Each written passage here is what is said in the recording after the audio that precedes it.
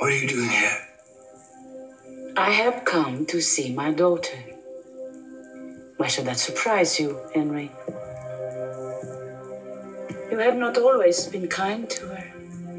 I have wept so often to see her alone, abandoned by her father.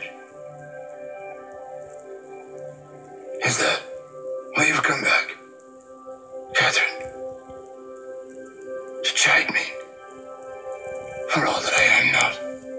She ought to be a long time married by now. She ought to have her own children. Go away. Shade.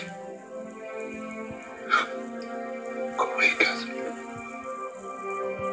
You sent me away before. Though I loved you,